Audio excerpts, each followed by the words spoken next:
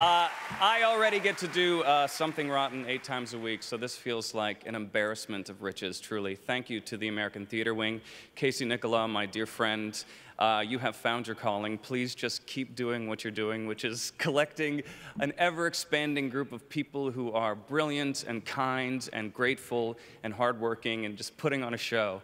I will follow you anywhere. Thank you, Casey. Uh, to our producer, Kevin McCollum, we are also happy over at the St. James. Thanks to your boldness and class and generosity.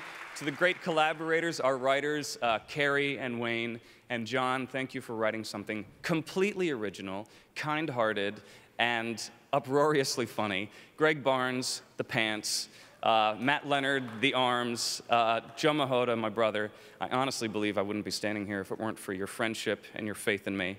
And uh, to my dear friend Roger Rees, thank you for teaching me that you don't have to chase every mouse. I love you, my friend. I'm so honored.